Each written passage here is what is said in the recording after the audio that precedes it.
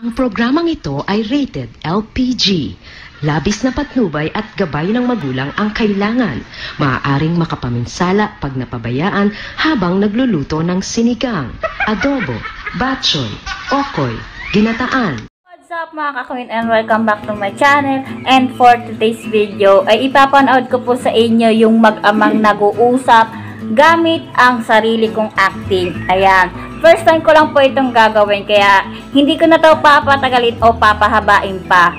Sa mga bago pa lang sa aking YouTube channel, huwag niyo po kalimutan mag-subscribe, like, and share sa aking YouTube channel para lagi po kayo updated sa aking mga video na ina-upload.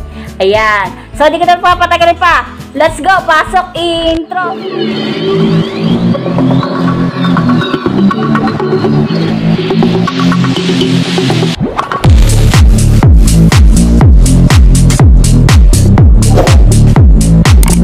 Magnus TV. Anak, ibili mo nga ako ng soft drinks. Coke o Pepsi? Coke. Diet o regular? Regular. Bote or can?